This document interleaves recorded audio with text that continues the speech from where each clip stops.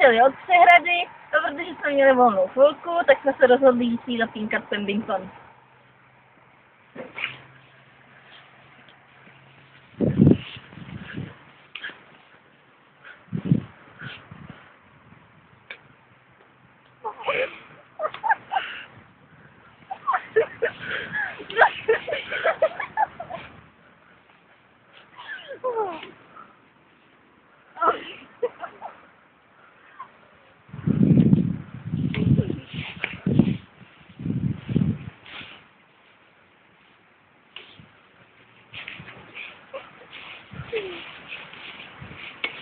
Aha.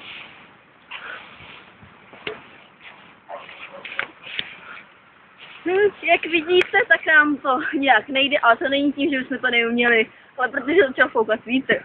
Tady vás Patricie Konhalová z Běleckého kraje.